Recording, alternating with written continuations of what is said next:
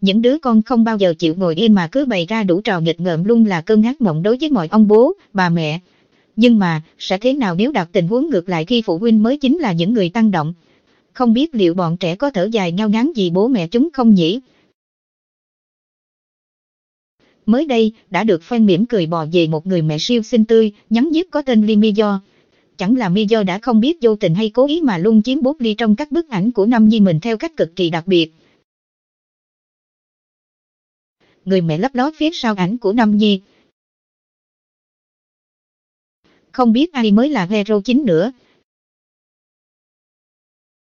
Khi cả nhà đi chơi, chồng cô thường khắc ghi những khoảnh khắc xinh tươi của hai mẹ con.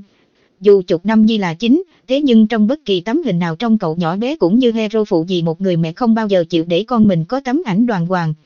Cô nàng thường chạy nhảy, làm trò ở phía sau bát rau của bức ảnh và coi đó là một thú vui.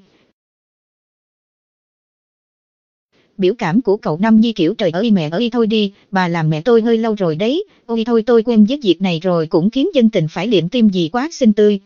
Sau này khi lớn lên và nhìn lại những hình ảnh của mình bên cạnh mẹ thì chắc chắn, cậu nhỏ bé này cũng sẽ thấy rất thu hút cho mà xem.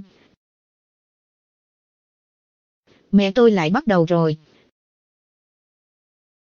Ngừng lại ngay đi mẹ ơi. Mệt mỏi quá hà.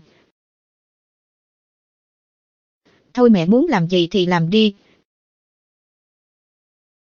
Hiện tại, những hình ảnh này kế tiếp chiếm được nhiều sự quan tâm trên. Nhiều bà mẹ đã rủ nhau sẽ phát đám bức ảnh của con mình để làm kỷ niệm nữa đấy. Ôi đúng là có những bà mẹ lắm chiêu thì đám trẻ cũng sẽ mệt lắm chứ không đùa đâu. Ok, kiểu này cũng nè. Nhưng bà làm mẹ tôi hơi lâu rồi đấy.